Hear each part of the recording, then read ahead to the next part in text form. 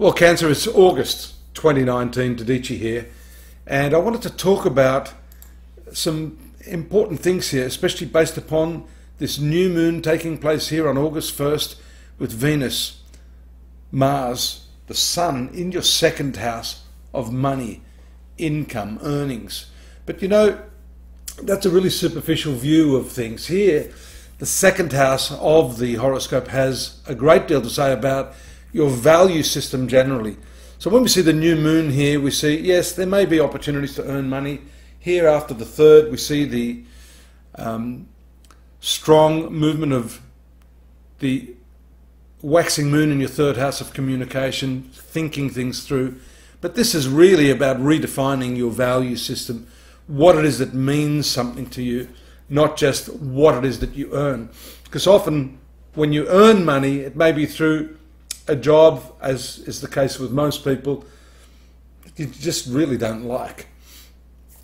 So I think that's the um, the key focus there to start the month. Fifth house moon makes you a lot more creative, and that's precisely what I'm talking about. Look at the challenges here, these right angles to these three planets in your second house from this fifth house of creativity. So you're wanting to be more creative, you're wanting to look at new vistas of how you can earn and how you can redefine yourself in terms of your value system, and more importantly, redefining yourself in terms of how you value yourself. That can also take place with the moon here in the sixth house after the ninth, coming into conjunction with Jupiter. Notice here these planets are all still in their retrograde motion. Uranus, however, in your 11th house has gone forward, and that can bring some activity and some sudden or unexpected events associated with friendships. Here, you notice it's gone stationary here on the 11th. So that is interesting. That shows it's also getting ready to maybe do a retrograde step here. Moon is in the seventh house here around the 12th and 13th. That can present problems in terms of your relationships because this area of the zodiac has to do with your marriage.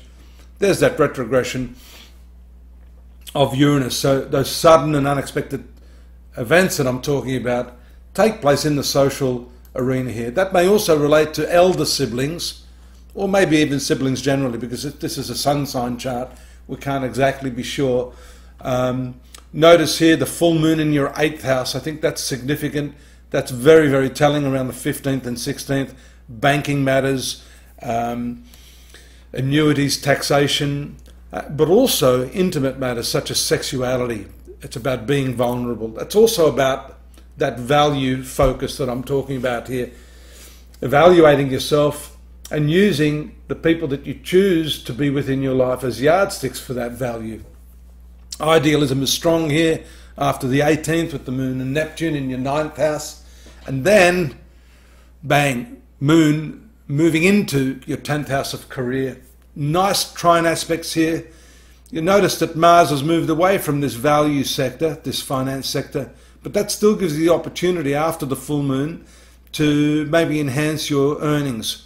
A lot of these planets are going to shift later in the month from this purely financial sector to this third sector of communication. Look at that powerful Mars Moon trine aspect. Excellent time to be talking about that pay rise that you want if value and finances is the main thrust for you.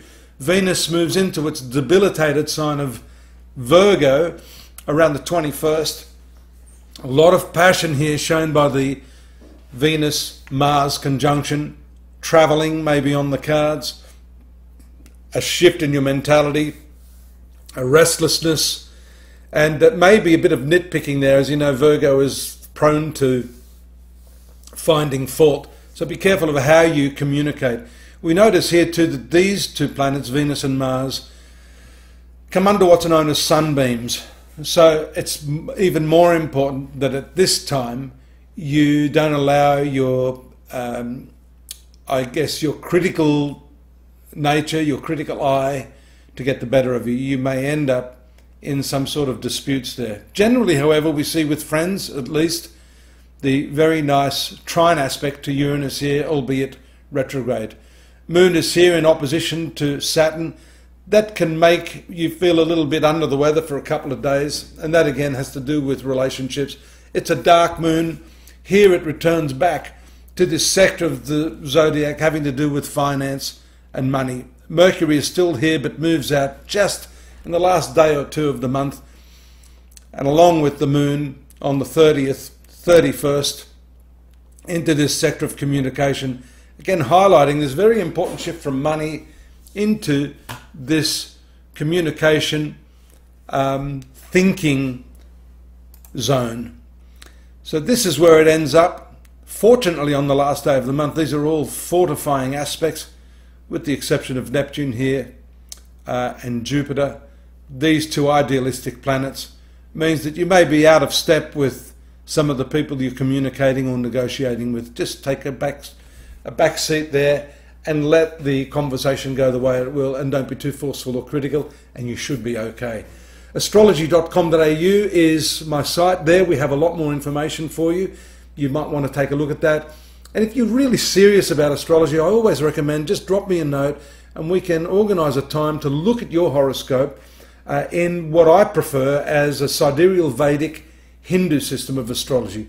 Far more telling, really focused on dates and the karma and when that karma is likely to come to fruition. Drop me a note here, subscribe, and I'll see you next month. Take care. Bye bye.